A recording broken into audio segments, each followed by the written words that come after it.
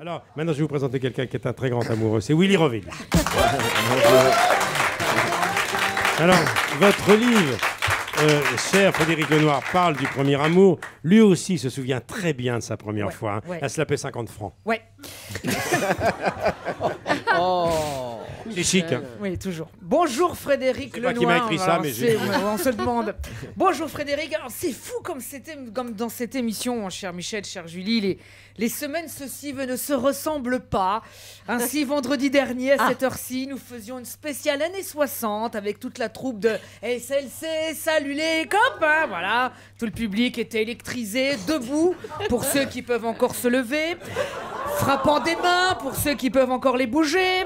Et fredonnant à l'unisson dans une ferveur toute magnifique. Vous les copains, Hey je ne vous oublierai jamais. Allez Yeah Et cette semaine, c'est Frédéric Lenoir, philosophe, auteur de l'épopée des Tibétains entre mythe et réalité, et de Socrate, Jésus, Bouddha, 3 mètres de vie. Pas de doute, l'ambiance est la même. Je, je- je vous signale que la pendule est faite en direct. Voilà. Ah, je pense qu'aujourd'hui, ça va être SLC. Salut les coussins. Wouh Voilà. Je vous réveille dans une heure, hein non, ne vous, ne vous vexez pas, c'est pas ça Frédéric. du tout. Non, c'est pas ça du tout. Je le fais exprès, ne vous vexez pas, Oui. Fred. hein. Vos livres sur la religion sont très bien, mais je doute que le public reprenne à tue-tête. euh, vous, les chrétiens, je ne vous oublierai jamais. Dididam, didam, dididam, dididam. Mangera des hosties. Dididam, didam, dididam. Bon, on va essayer, hein, on mais je ne on vous que vous préviens rien. été enfant de cœur. Voilà. Pourtant, croyez-moi, ici, nous avons l'habitude de recevoir de grands penseurs de votre trempe. Exigence et culture sont les mamelles de Faites entrer l'invité. Choisir des invités, vous savez, n'est pas chose aisée. Ça dure de longues heures dans le bureau de Michel avec euh, Vanessa Zah, notre euh, programmatrice. Ah, bonjour Michel. Voilà, on me propose Marcel Gauchet pour son livre sur l'avènement de la démocratie ou Véronique de Véronique Davina pour Véro trouve tout. Ça sera Véro trouve tout. Bonne journée. Au revoir Michel. Voilà. La rigueur, Euh, elle est ici. euh, Véro. Trouve-Tout n'a pas eu le prix Goncourt. hein. C'est vrai, pas encore. Pas encore, en tout cas. La rigueur, elle est ici, Frédéric.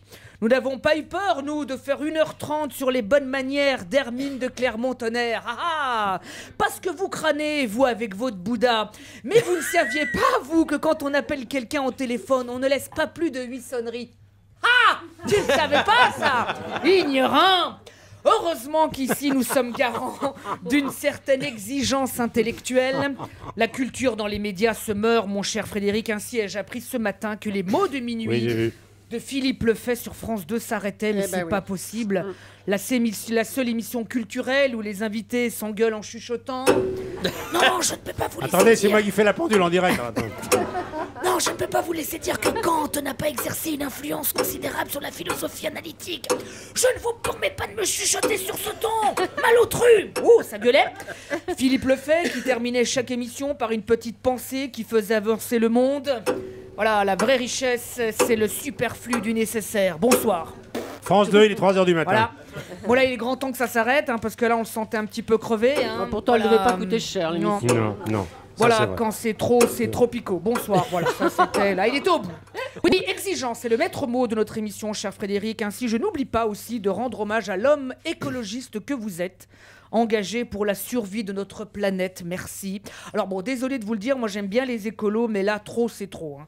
Si par mégarde on jette un papier gras par terre, t'as des militants de Greenpeace qui sont capables de t'enchaîner sur le sol et te fouetter avec des lianes de chanvre en t'insultant dans un dialecte amazonien, il y en a marre Trop c'est trop, Fred, la couche d'ozone, c'est pas que nous. 30% des gaz à effet de serre sont causés par la digestion des vaches, oui quand un ours se meurt, c'est parce qu'une vache se gave. Pourtant, Greenpeace n'a jamais envoyé une milice végétarienne dans un champ de charolaise. On ne bouge plus, les grosses La première qui lâche une cage, elle transforme en tartare. Ah ah Prenez le temps de la réflexion, cher Fred, mais il serait temps de voir enfin les vrais problèmes écologiques dans les yeux. En attendant, pour votre présence parmi nous ce matin, le public se joint à moi pour vous dire Merci d'être là. C'est vrai, euh, il y a encore du travail. Hein. Willy, il est en première année.